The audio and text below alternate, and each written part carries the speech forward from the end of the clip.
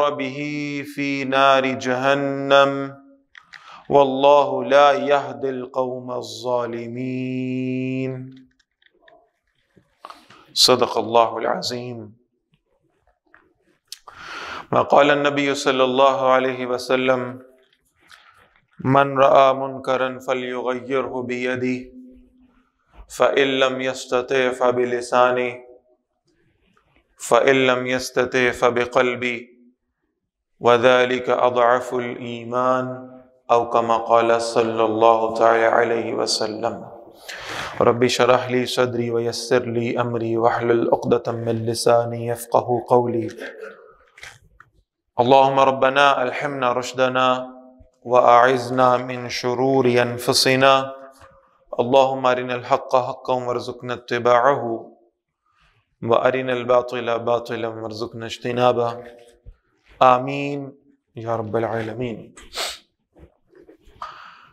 हजरत मोहतरम सूरह तौबा की तीन आयत 107, 108 और 109 ये अभी मैंने आगाज़ में तिलावत की हैं।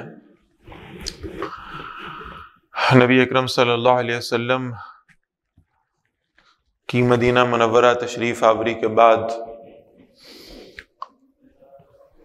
मुनाफिकीन ने एक मस्जिद बनाई।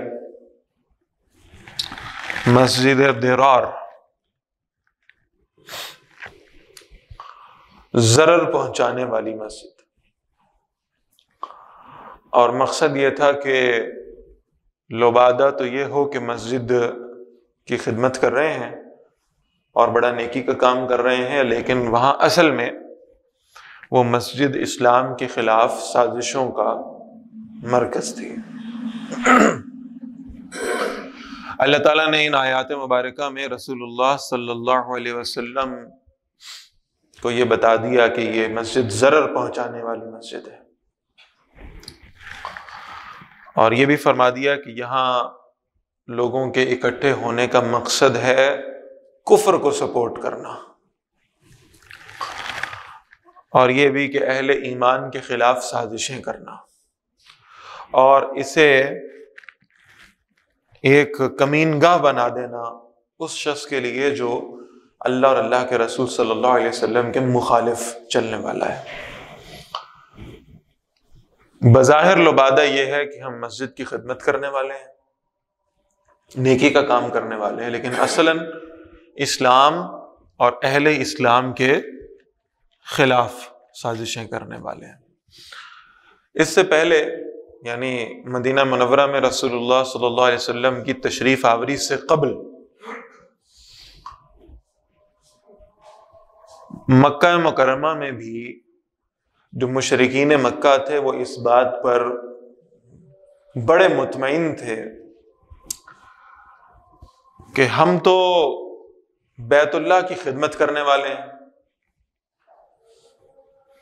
और अगर अल्लाह ने हमें इस काम के लिए चुन रखा है तो इसका मतलब है अल्लाह हमसे बड़ा राज़ी है।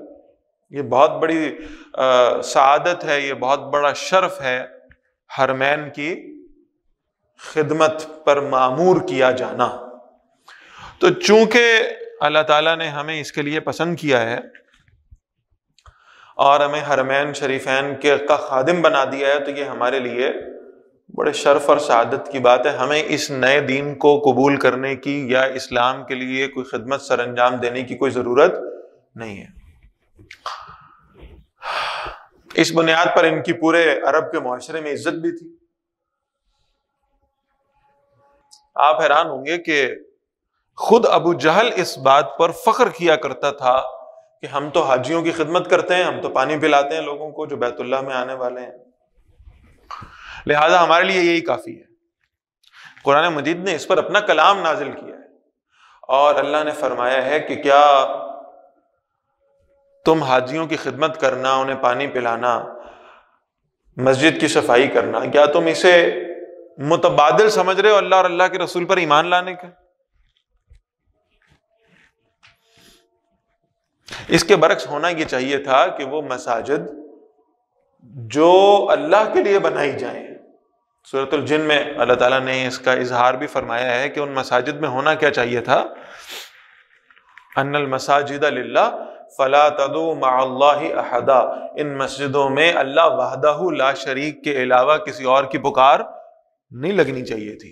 तो दीन का मरकज थी मस्जिद।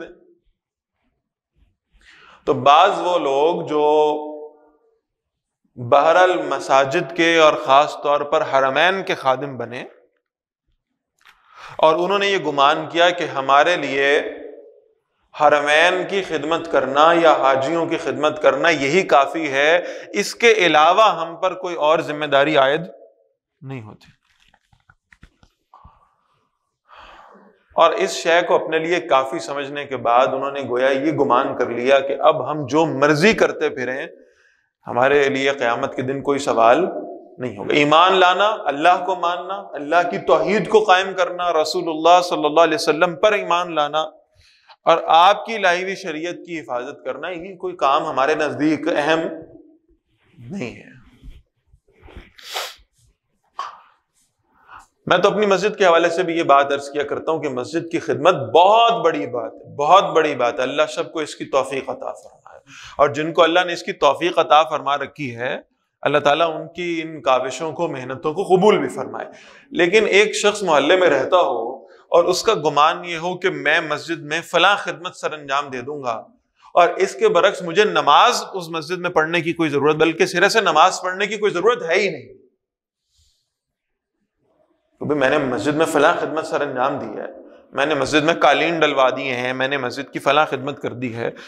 तो अब जितने नमाजी उस मस्जिद में नमाज़ पढ़ेंगे सबका अजर मुझे मिलता रहेगा। तो मुझे तो सैकड़ों नमाजियों का अजर मिल रहा है, एक नमाज़ मुझे पढ़ने की क्या ज़रूरत? और इस बुनियाद पर वो बेनमाजी बन जाए, दीन ने हरगिज इसकी कोई इजाज़त नहीं दी, ना इसे पसंदीदा काम समझा है वो नमाज़ जो मुझ पर फ़र्ज़ है वो फ़र्ज़ ही रहेगी। सैकड़ों नमाजियों का अजर भी मिलता हो तो अजर ज़रूर मिलेगा, फ़र्ज़ खत्म नहीं होगा।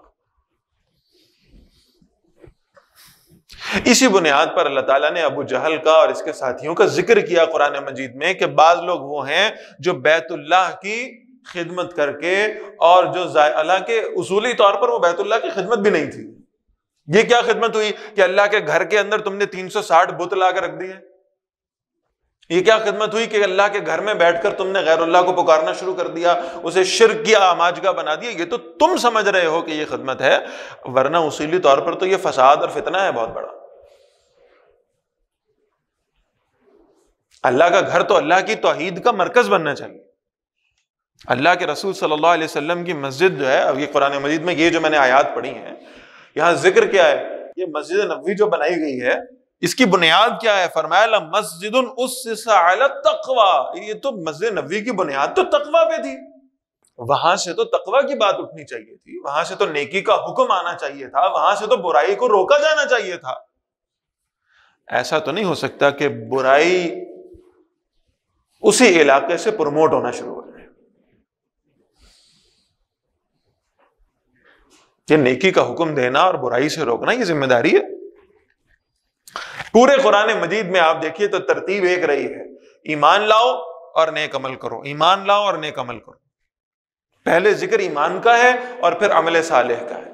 लेकिन आप कभी सुरा अल इमरान पढ़ के देखें, अल्लाह ताला फरमा रहे हैं कुन तुम खैर उम्मतन उखरजत लिन्नास, तामरून बिल मारूफ व तनहून अनिल मुनकर व तुमिनून बिल्ला यानी ये अजीब मामला है कि पहले ईमान से ज़िक्र आए अमल का। तुम नेकी का हुक्म देते हो, क्यों तुम सबसे बेहतर? क्यों तुम्हें अल्लाह ने अफजल उम्मा बनाया? इसलिए कि तुम लोगों को नेकी का हुक्म देते हो, बुराई से रोकते हो और तुम ईमान लाते हो। गोया नेकी का हुक्म देना और बुराइयों से रोकना। अमर बिल मारूफ और नहीं अनिल मुनकर। ये ईमान की बुनियाद थी। ये काम करने से तुम्हारा ईमान मजीद बढ़ेगा। मज़बूत हो जाएगा। ये काम तुम्हें करना चाहिए था। फिर मैंने हदीस पढ़ी, अल्लाह के रसूल सल्लल्लाहु अलैहि वसल्लम इसी के हवाले से फरमाते हैं, मन मिनकुम मुनकरन फल युगैर बियदे जो तुम में से किसी बुराई को देखे, उसे अपने हाथ से रोक दे, अगर ताकत रखता है। फ़ैलम यस्तते फबिलसानी अगर इसकी इस्तात नहीं रखता तो अपनी ज़ुबान से उसे बुरा कहे। वम यस्तते फ़बकल्बी और अगर इसकी भी इस्तात और ताकत नहीं है तो कम अज कम अपने दिल से उसे बुरा जाने। वदाली का अफ़ुल ईमान, और ये ईमान का कमज़ोर तरीन दर्जा है। अज़फ ज़यीफ की बात नहीं हो रही। सबसे कमज़ोर तरीन दर्जा यह है कि उस बुराई को दिल में कम अज कम बुराई समझे। अच्छा एक तरफ़ तो यह मामला है बुराई को बुराई कहना और समझना। दूसरी तरफ़ हम जब शरीयत इस्लामी की बात करते हैं तो ये हदीस भी हम पढ़ते हैं कि अल्लाह के रसूल सल्लल्लाहु अलैहि वसल्लम ने फरमाया कि अगर बिल फ़र्ज़ बिल फ़र्ज़ बिल फ़र्ज़ फातिमा भी चोरी करती तो क्या होता? हाथ काट दिया जाता। रज़ी अल्लाह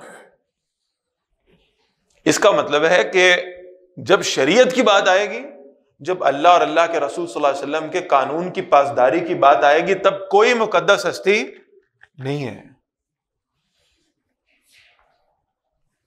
बैतुल्लाह के साथ हमारी मोहब्बतें, कौन कौन मोमिन दुनिया में पाया जाता है जिस, जिसको अल्लाह के घर से मोहब्बत ना हो? कौन सा मुसलमान ऐसा है जो रसूलुल्लाह सल्लल्लाहु अलैहि वसल्लम के रोजा अतहर से मोहब्बत न रखता हो? सवाल ही पैदा नहीं होता। बैतुल्लाह से भी मोहब्बत है, रोजा रसूल से भी मोहब्बत है, अल्लाह हम सबको वहाँ बार बार जाने की तोफीक अता फरमा दे। जुमे का वक्त है और मकबूल दुआएँ हैं अल्लाह ताला हम सबको ले जाए। लेकिन बैतुल्ला की मोहब्बत और रोज़ा रसूल की मोहब्बत का हरगिज़ ये मतलब नहीं है कि वहाँ के पासदारान जो हैं, वो अगर अपने आप को खादिमुल हरमैन का लेबल लगाने के बाद अल्लाह की शरीयत को पामाल करते फिरें तो उनकी भी उतनी ही ताजीम की जाए जितनी बैतुल्ला की ताजीम। हरमैन की ताजीम अपनी जगह, हरमैन की हरमत और उससे मोहब्बत अपनी जगह। मैंने अर्ज़ किया ना कि एक शख्स हमारी मस्जिद की खिदमत करने वाला हो तो बहुत अच्छी बात है।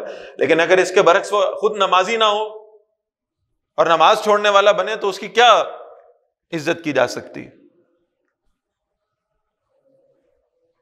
ये तो हरमैन शरीफैन को तो दुनिया का मरकज बनना चाहिए था। यहाँ से तो अल्लाह की तोहीद और रसूलुल्लाह वसल्लम की रसालत की बात उठनी चाहिए थी। यहाँ से तो तकवा की आवाज़ें आनी चाहिए थी। यहाँ से तो नेकी का हुक्म बुलंद होना चाहिए था। यहाँ से तो बुराइयों से रोका जाना चाहिए था। और महसूस होता है कि अब ऐसा शायद मुमकिन नहीं रहा। बल्कि वहाँ होने वाली बुराइयों के हवाले से अगर यहाँ भी कोई आवाज़ उठाने की कोशिश करे तो उसे मलून मतून कर दिया जाता है कि शायद ये हरमैन का गुस्ताख है मादल्ला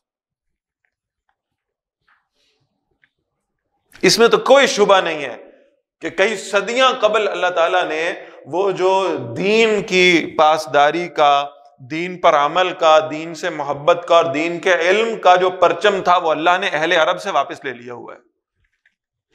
वो अगर है तो इस बर सगीर पाको हिंद के इलाके में जिसको अल्लाह के रसूल सल्लल्लाहु अलैहि वसल्लम ने खुरासान फरमाया और जिसके बारे में आप सल्लल्लाहु अलैहि वसल्लम ने फरमाया, मुझे इस इलाके से ठंडी हवाएँ आती हैं।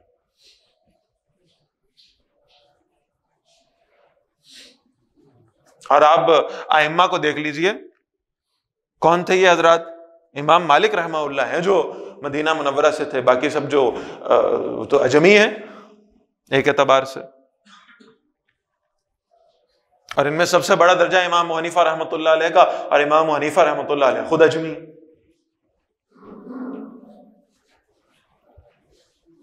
तो अल्लाह ताला ने वो दीन का इल्म और वो दीन की खिदमत का परचम बहरहाल अहल अरब से वापस ले लिया हुआ। और अब इनके लिए कैफियत क्या है? अल्लाह के रसूल फरमाते हैं सल्लल्लाहु अलैहि वसल्लम, जब फितनों का दौर आएगा, तुम देखोगे वो लोग जो बकरियाँ चराया करते थे या तो तावलून बुनियान, वो बहुत तवील तवील इमारतें बनाने लग जाएँगे। आज वो कैफियत तो नज़र आ रही है। मुकाबला हो रहा है तो इस बुनियाद पर हो रहा है कि सबसे तवील इमारत कौन बनाएगा? अरब तो इससे बढ़कर ऐलान सामने आ गया कि हम तो अब अरब को यूरोप से भी आगे लेकर जाएँगे। तो वो तो आप ले जा रहे हैं, नज़र आ रहा है। इसमें तो कोई शुबा नहीं है। हरमैन के दरवाजे बंद हैं, वहाँ जाना मुश्किल बना दिया गया, बल्कि मुश्किल तरीन बना दिया गया। और इसके बरक्स वहाँ कॉन्सर्ट्स भी हो रहे हैं म्यूजिकल नाइट्स भी मनाई जा रही हैं। आज वो न्यू ईयर का भी अहतमाम वहाँ पर हो गया है। और यूँ समझे कि जो खुराफात व बिदात जिसके बारे में हम कभी सोच भी नहीं सकते थे कि ये अरब में रिवाज पा जाएँगी, आम हो गई और बाकायदा सरकारी सरपरस्ती में आम है। और गालिबा ये वही वक्त है जिसके बारे में अल्लाह के रसूल फरमाते हैं सल्लल्लाहु अलैहि वसल्लम वैल अरब। अरब अरब के लिए हलाकत है उस शय से जो इनके बहुत करीब आ चुकी है। इनके अमाल इनके मामलात ऐसे हैं जो इनको अल्लाह के अजाब में दो चार करेंगे।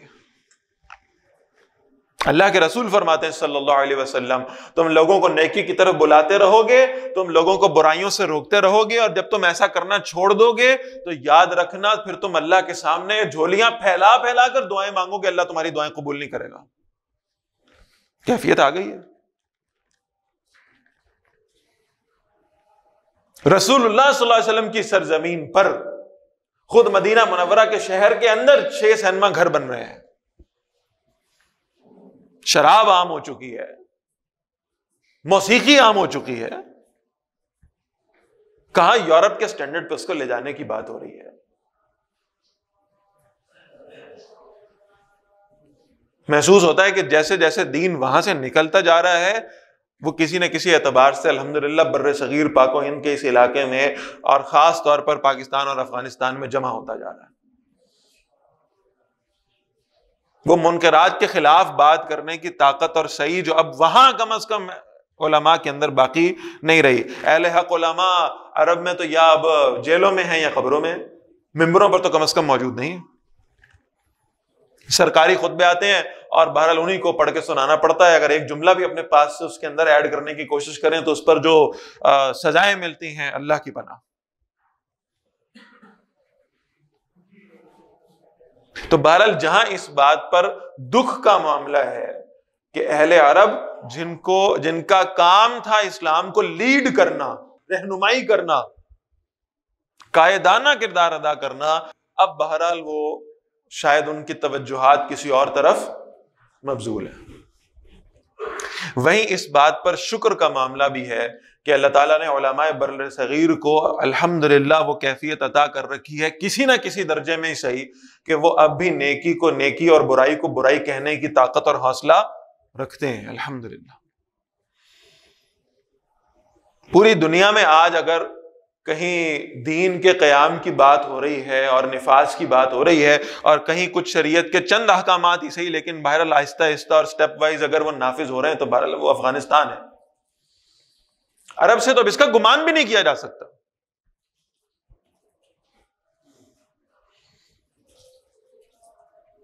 तो इस बात पर कम अज कम अल्लाह का हमें शुक्र अदा करना चाहिए कि हम उस इलाके में मौजूद हैं। ये पाकिस्तान का इलाका वो है इन वो जिसे खुरासान कहा गया, ये पाकिस्तान और अफ़गानिस्तान और हिंदुस्तान को मिलाकर, ये वो इलाका है इन जिससे अल्लाह के रसूल वसल्लम ने फरमाया कि अगर इस्लाम कायम रहेगा तो बहरल इन्हीं इलाकों में बाकी रह जाएगा और फिर यहीं से इस्लाम की हवा उठेगी इनशाला और वो इस्लाम फिर पूरी दुनिया पर नाफिज होगा। इस पर भी हमें अल्लाह का शुक्र अदा करना है। और साथ साथ बहरहाल हमें इस पर दुआ भी करनी है कि अल्लाह ताला उन अहले अरब को भी हिदायत की तरफ़ वापस लौटने की तोफीक अता फरमा दे। इसमें कोई शक नहीं है कि दिल जख्मी है। इसमें कोई शुबा नहीं है कि वो जिनको हम समझते थे कि ये दीन को सबसे ज़्यादा समझने वाले हैं। और दीन को आगे लेकर चलने वाले, उसकी हिफाजत करने वाले हैं। बहरहाल अल्लाह ताला ने वहाँ से ये दीन लेकर, आज आप देखें, मैं बगैर फैक्ट्स एंड फिगर्स के बात करने का आदि नहीं हूँ, आप हैरान होंगे, इस वक्त पूरी दुनिया के अंदर जो सबसे ज़्यादा कुरान मजीद को हिफ्ज करने वाले हैं, वो अल्हम्दुलिल्लाह पाकिस्तान में पाए जाते हैं। सबसे ज़्यादा कुरान मजीद की तफासिर जो लिखी गई हैं, वो पाकिस्तान में उर्दू ज़ुबान में लिखी गई हैं। इस इस दौर की बात कर रहा हूँ। पिछली चंद सदियों का अगर हम डेटा ले लें तो मालूम होता है कि सबसे ज़्यादा काम इस बर सगीर पाको हिंद में हुआ अल्हम्दुलिल्लाह। सबसे ज़्यादा दीन की समझ और तफक्को अगर अल्लाह ने अता किया तो इस खत्ते को अदा किया है। और सबसे ज़्यादा इस्लाम के नाम पे मर मिटने का जज्बा अल्लाह ने कहीं रखा है तो वो भी यही खत्ता है। वे खाके छपते हैं महादल्ला रसूलुल्लाह सल्लल्लाहु अलैहि वसल्लम के कार्टून बना देते हैं महादल्ला सुम्मा महादल्ला सबसे ज़्यादा रिस्पॉन्स कहाँ से आता है?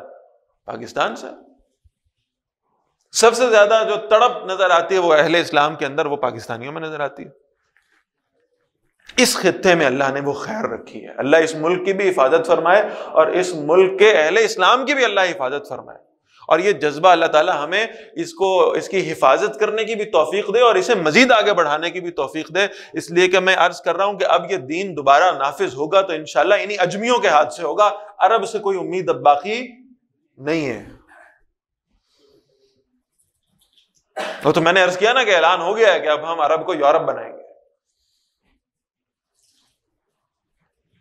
तो उनका मामला तो अल्लाह के सपुर्द है और वो अल्लाह ही उनको हिदायत अता फरमाए। लेकिन हमारे सोचने की बात यह है कि हम अपने इस दौर के अंदर, इस मुल्क के अंदर अल्लाह के दीन की हिफाजत करने वाले बन जाए और ये जो मैंने शुरू में मस्जिद की मिसाल दी थी और ये मैंने आयात भी पढ़ी, बस आखिरी बात अर्ज़ कर रहा हूँ, और ये बहुत खूबसूरत जुमला है। मौलाना हुसैन अहमद बदनी रहमत का, वो अक्सर कहा जाता है कि उलमा शायद पाकिस्तान के क़्याम के मुखालिफ थे।